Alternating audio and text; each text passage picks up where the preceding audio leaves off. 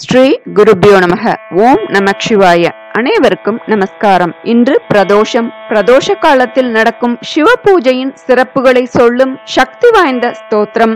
அனைவரும் அவசியம் பிரதோஷ காலத்தில் பாராயணம் செய்ய வேண்டிய ஸ்தோத்திரம். சிவசக்தியின் அருளை பரிபூர்ணமாக பெற்றுத்தரக்கூடிய பிரதோஷ ஸ்தோத்ராஷ்டகம் பார்க்கலாம். இன்று புதன்கிழமை சௌமிய வார பிரதோஷம் அப்படின்னு அழைக்கப்படுறது. எல்லா தோஷங்களும் நீங்க பிரதோஷம் இரு என்பார்கள். பொன் கிடைத்தாலும் புதன் கிடைக்காதல்லவா? இன்று புதன் பிரதோஷம். கல்வி கேள்விகளில் விருத்தி பெறவும் உத்தியோகத்தில் உயர்வு பெறவும் சந்ததிகள் சிறந்து விளங்கவும் இந்த பிரதோஷ விரதம் இருப்பது நல்லது அப்படின்னு சொல்லப்பட்டிருக்கு. விரதம் இருக்க இயலாதவர்கள் இந்த நாளில் சிவபெருமானுக்கும் நந்தி தேவருக்கும் நடக்கும் அபிஷேகத்திற்கு பால் பழம் தேன் இளநீர் புஷ்பம் போன்ற நம்மால் இயன்ற அபிஷேக பொருட்களை வாங்கி தந்து இன்று நடக்கும் விசேஷ பூஜைகளில் கலந்து கொண்டு தரிசித்து சிவன் அருள் பெறலாம். நம்முடைய பாபம் நீக்கி அருளும் பிரதோஷ தினத்தில் அவசியம் ஒவ்வொருவரும் சிவாலயம் சென்று வழிபட வேண்டும். எத்தனை பெரிய துன்பமாக இருந்தாலும்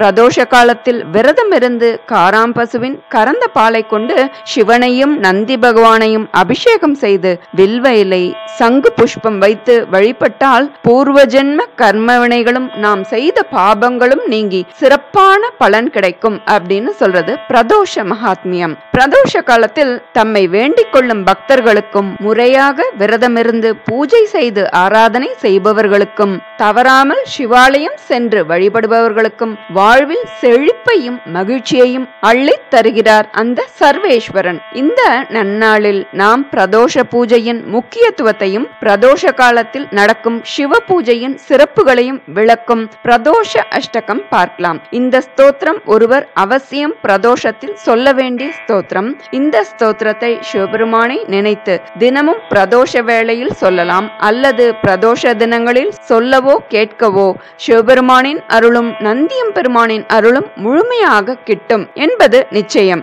நினைத்த காரியங்கள் அனைத்தும் நிறைவேறும். இது மிக அரிய மிக பழமையான நூலான ஸ்காந்த புராணத்துல இருக்கு. இந்த ஸ்தோத்திரத்துல என்ன சொல்லப்பட்டிருக்குன்னு அதன் அர்த்தத்தை கொஞ்சம் அறிந்து கொண்டு ஸ்தோத்திரத்திற்கு போகலாம். நான் உண்மையை சொல்கிறேன் மற்ற உலகத்திற்கு நன்மையானதை சொல்கிறேன். என்ன உண்மை? உபநிடதங்களின் கருத்துக்களை சொல்கிறேன். பிறக்கும் ஒவ்வொரு அற்பமான பிராணிக்கும் கடவுளுக்கு செய்யும் சேவை மட்டுமே அர்த்தமுள்ள விஷயம் என்ற உண்மையை சொல்கிறேன். அது மட்டுமல்ல பிரதோஷ காலத்தில் சிவபெருமானை வழிபடாதவன் சிவபெருமானை நினைக்காதவன் அந்த சமயத்திலே சிவனை கும்பிடாதவன் வணங்காதவன் குறைந்தபட்சம் அந்த நேரத்தில் சிவனின் கதையையாவது கேட்காதவன். எப்பொழுதும் ஏழையாகவே இருப்பான் அவன் ஒரு முட்டாள் ஆத்மாவாகவே இருப்பான் அப்படின்னு சொல்லப்பட்டிருக்கு. பிரதோஷ காலத்தில் சிவபெருமானை முழு மனதுடன் தாமரை மலர்களால் வழிபடுபவர் தனது மனைவி குழந்தைகள் மற்றும் நண்பர்களுடன் என்றென்றும் சகல செல்வங்களையும் அனைத்து அதிர்ஷ்டங்களையும் மிகப்பெரிய அளவில் பெறுவார்கள் அப்படின்னு சொல்லப்பட்டிருக்கு. பிரதோஷ காலத்தில் திரிசூலத்தை ஏந்திய ஈஸ்வரன் மூன்று உலகங்களுக்கும் தாயான கௌரி தேவியை விலையுயர்ந்த ரத்னங்கள் பதித்த தங்க ஆசனத்தில் அமரச் செய்து தானும் நடனமாட தயாராகி தேவர்கள் அனைவரும் அவரை போற்றி பாடுகிறார்கள். இது இப்படி வர்ணிக்கப்பட்டு வர்ணிக்கப்பட்டிருக்கு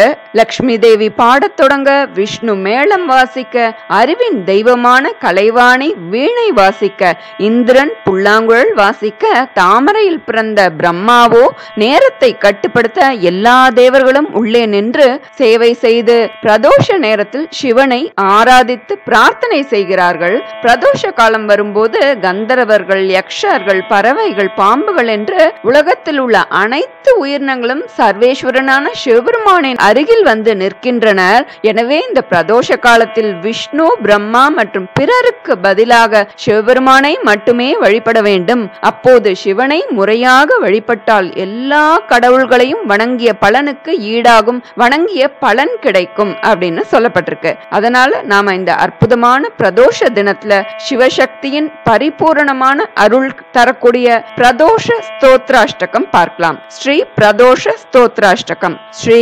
गणेशाय नमः। सत्यम् ब्रवीमि परलोकहितम् ब्रवीमि। सारम् ब्रवीमि ब्रवीमि। संसारमुल्बणमसारमवाप्य जन्तोः सारोऽयमीश्वरपदाम्बुरुहस्य सेवा। येनार्चयन्ति गिरिशम् समये प्रदोषे। येनार्चितम् शिवमपि प्रणमन्ति चान्ये एतत् कथां श्रुतिपुटैर्न पिबन्ति मूढास्ते। जन्म जन्मसु भवन्ति नरा दरिद्राः। ये वै प्रदोषसमये परमेश्वरस्य कुर्वन्त्यनन्यमनसोऽङ्घ्रिसरोजपूजां।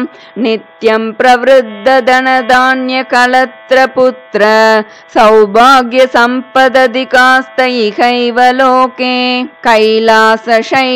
कैलासशैलभुवने त्रिजगज्जनित्रीं गौरीं निवेश्य कनकाचितरत्नपीठे नृत्यं विधातुमभिवाञ्छति शूलपाणौ देवाः प्रदोषसमयेनु भजन्ति सर्वे। वाग्देवी धृतवल्लकी शतमको वेणुं ददत् पद्मज स्थालोन्निद्रकरो रमा भगवती गेयप्रयोगान्विता विष्णुः सान्द्रमृदङ्गवादनपटुर्देवा समन्तास्थिताः सेवन्ते तमनु प्रदोषसमये देवं मृडानीपतिं गन्धर्वयक्षपतगोरगसिद्धसाध्य विद्याधरामरवराप्सरसां गणांश्च येन्ये त्रिलोकनिलया सह भूतवर्गाः प्राप्ते प्रदोषसमये हरपार्श्वसंस्थाः। अतः प्रदोषे शिव एक एव पूज्योतनान्ये हरिपद्मजाद्याः तस्मिन् महेशे विदिने ज्यमाणे सर्वे प्रसीदन्ति सुरादिनाथाः। एष ते तनयः पूर्वजन्मनि ब्राह्मणोत्तमः प्रतिग्रहैर्वयोनिन्येन दानाद्यैः सुकर्मिभिः अतो दारिद्र्यमापन्नः पुत्रस्ते द्विजभामिनी तद्दोषपरिहारार्थं शरणां यातु शङ्करम्।